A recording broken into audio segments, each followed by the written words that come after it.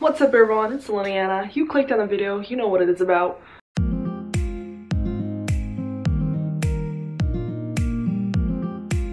So I run a meetup called Product Design Life in San Francisco and it's where designers get together to hone their craft outside of the 9 to 5 and I've ran whiteboard challenge workshops and unfortunately not everyone can attend so I figured I'll share my fundamentals to you whoever's watching online. I get asked a lot in person or online on how I approach whiteboarding. So I'm going to share with you how I approach whiteboarding and I hope this either gives you more confidence or it gives you some kind of fundamentals to go off. Now keep in mind this is the Silicon Valley way that I'm going to share you so this is pretty commonly used in product design interviews and product manager interviews.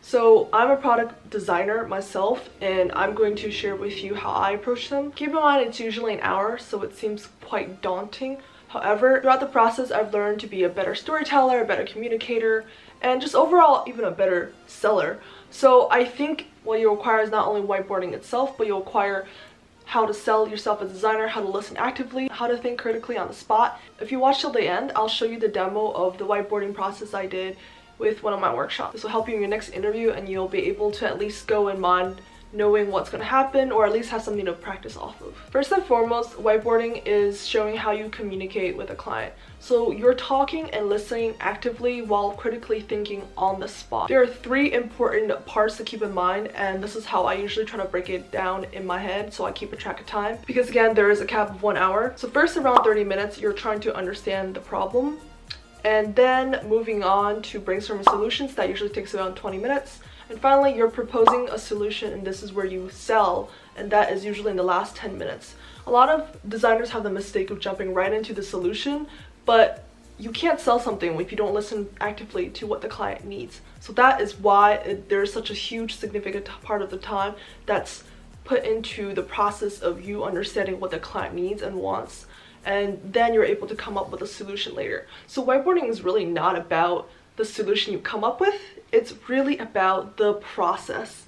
The process of how did you take the client from A to B to C to D and how are you able to finally sell them on the solution. First you have to listen to their problem, then you're able to build a story and show them how you're able to solve their problem. This is why there's a huge part of story selling in design. Not only is there an element of how they're able to overcome the challenge you're also selling the solution to your clients. So this is not only in whiteboarding, but it's also in other parts of design. Now what I mean by selling is that you first listen actively to what they're saying and then from understanding their needs and concerns, then you're able to propose the solution that you think will best address their needs and concerns. So that's where there's two parts of it is story and then selling. Selling has kind of like a crummy feeling that people traditionally think of it as is where you just like sell people things you don't want. But in fact selling is really about listening and solving the customer's problems. For example when's the last time you bought an advertisement that didn't speak to your needs as a customer? Well guess what? The advertisement has been through rounds and rounds of research to understand your needs and pains as a customer and then they're able to find you and get you to buy their solution. That is essentially what copywriting is or you can have a salesman in person or on the phone, they talk to their client and they listen empathetically to what the client needs. Then, after listening and making note of the problems the clients have, they come up with a solution to solve the problem. Usually the interviewer will present a problem to you that's either a macro level, such as the ones I've got how might we improve transportation or on a micro level, such as designing a better onboarding flow for users. I've noticed they often like to disguise problems that are similar to their own business problems and then they'll ask you to solve it in whiteboarding. Remember not to jump in to create a digital product or UI just because you think it's a product interview Unless the interviewer explicitly says so and you confirm with them, you want to keep your solutions open-minded. They want to see how you solve the problem creatively, not just, oh, I'm going to design an app to solve that problem. Mm -mm. Now with that being said, they can present you with multiple open-ended problems and it's up to you as a designer to narrow it down. You as a designer want to take that information and narrow down and build more constraints so along the way you're able to come up with more of a concise solution and that's part of the design challenge because again everyone is playing make-believe here so there is often not real constraints or even the numbers or just kind of figures that are thrown at you that's not the focus there. The focus is that they want to see how you're able to navigate the complexity or the ambiguity. So jumping into it, the first part is understanding the problem. You start off by asking for the problem and typically as I've interviewed, they usually give you the problem right away. So since I don't have a whiteboard with me right now, I'm gonna use my iPad and write this down. So we're gonna pretend like this is a whiteboard and I'm gonna share with you on the screen and link you. So for example, they tell me the problem and I will write that down. So they'll say, okay, this is the problem we have right now. For example, they might be playing a plant shop owner and they'll say customers keep returning dead plants to store. Now just imagine this is the whiteboard again. Now, you don't need to write across the whole entire board. I'm just doing that because as you can see the dimensionalities of the iPad are kind of small. So the company slash client is a small plant shop owner. And you ask her what is your customer? And they'll say something like oh you know mostly college students or this demographic. But for this example we'll use college students as the demographic. The important thing is also to ask how this is affecting their business. Often a lot of designers neglect that. They'll just ask about the users but then forget to ask about the business. It shows you're more of an involved thinker if you ask for their business at the end of the day, we're all solving business problems here. And we're all business people before we're designers because, hey, you're a professional before you're a designer. So in this example, the client will say, oh, 20% of revenue is lost through refunds. And here is a good time to also ask for what you think their goal is for today. Like what did they want to accomplish by today's session? This can also help you specify if they want like a product and also ask for any constraints. So let's just say for this shop, I ask for their constraints and they say, oh, we're a small shop, so the budget is like $5,000 in three months. So the context is customers come to store, choose an unbranded plant, and this is the important part, purchase with CC, credit card or cash, get receipt, and leave. You also know that their company has no website. And you'll notice I'm not drawing any user flows and there's a reason for that because when I'm writing down and actively trying to listen to them, it's really hard for me to draw user flows and figure out the diagrams as I'm trying to actively listen to the problems they're saying to me and also think about the next steps of how I want to proceed and guide them throughout the challenge. I personally try to keep it simple and just write it down as much as I can. I'm practically thinking about the next step, always brainstorming solutions. Sometimes the steps are a little complicated, so if you're drawing user flows, you might yourself get confused in the problem. Remember you're having a conversation with a client, so if you get stuck in your head, it's not gonna be a good flow. To make sure you gather all the information, here's a tip. You can ask something like, does this look good? Did I miss anything? And then move on if they agree with you.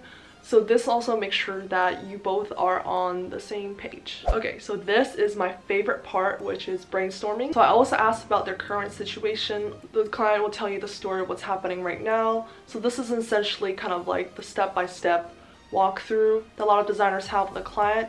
And I don't generally like to use user flows here because I try to keep it simple and proactively listen to what the client is telling me. So I try to proactively think the next steps and I'm taking in what they're saying right now. And as I'm writing down ideas, I'm explaining to them why it's relevant to their problems or connected to part of the story that they have told me earlier. But if they haven't asked me to do wireframes or any kind of design work, I try to stick to ideas. I'm gonna create a new page, but usually you have a whiteboard big enough to do all of the challenge itself. This is where you sell and you seriously flex your creative thinking skills. After listening to the client, I usually propose like three to five ideas and I only draw wireframes if they ask me to. So write down brainstorming, maybe a water resistant label on the plants because they mentioned earlier that, that the plants were not labeled.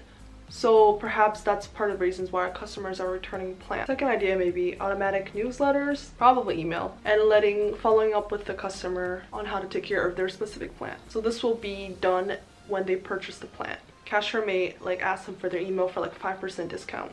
And the third one is perhaps they have a website showing how to take care of all their plants. So I'm going to draw a 2 by 2 matrix. High cost, low cost. So you notice the high is on the lefts and then the lows are on the rights. Okay, so number one, which is water resistant labels and I think this is pretty effective and impactful because the customer could just see how to take care of the plants right away just by looking at the pot and it comes with every single plant and relatively low cost. So moving on to number two, automatic newsletter. I think this is medium impact because customers still have to give their emails at the time of purchase and not every customer wants to give their email and they can also unsubscribe to emails at any time. So impact is about medium. And in terms of cost, I think it still causes a little bit much because again, this is a small shop owner. They would still have to hire someone who does email marketing to set up automatic emails for them. And MailChimp also has like a monthly subscription fee. So we can say this is like medium to low cost, but in terms of impact, I don't think it's that great. So because high cost is the left and low cost is on the right, it's like medium or low, I'll put it like a two here, so like on the border. Now number three, a website showing all their plants with instructions how to take care of them. This one is definitely high cost because having a, a website with a developer or a designer would cost you a pretty buck to build it from scratch. And I'm not sure how much impact this would make, so probably low because not every single customer is going to look at your website. And if you want a website that people can just find easily, you have to also work on SEO. So there's a lot of factors that go into creating a website, which is basically a product. So I'm going to put that as pretty high cost. And in terms of impact, not that much especially if customers will still need to know how to get access to the website. So then the proposed solution can be water resistant labels where every single customer buy the plant on the spot and then take it home with them and know have instructions to know how to take care of the plant without having the plant be sick or dead and return it in the few store. Because customers have access on how to take care of the plants properly, there'll be less refunds and returns because every time they purchase a plant, the label is on the plant pot and they're able to see if they ever miss anything or they forget how many days the plant needs to be watered or what kind of nutrition needs. It's like right there in the pot and there's no extra work asked from the customer. So then a storytelling aspect might be stressful environment and something to take care of helps them stabilize this chaotic environment. They may be pretty clueless how to take care of plants because at home their parents took care of the plant. So after the initial joy of taking their plant home, they're dismayed to find that the plant is dying. Not only are they distressed from balancing school and this chaotic new environment they're in, their plant is also dying. So they're going to be an overly frustrated customer. However, by having a plant that's well nourished and taken care of, that's like growing and pretty and green, there's something that they can return back to home to and be proud of. The plant becomes an essential part of their lives and they may return as happy customers to buy more plants. So win-win because the shop owner may also generate more revenue. So to sum all this up in a whiteboard challenge, they want to see how you understand problems and then present your solution to fit their needs so basically it's how do you actively listen to someone and then be able to understand and empathize the situation and then sell them on the solution. I think I wrapped this pretty concisely and you can watch the full demo video I have linked here on how I did the whiteboarding challenge. If you like this video, give me a thumbs up or if you have learned anything new, please let me know in the comment section. And if you like to see weekly videos of me,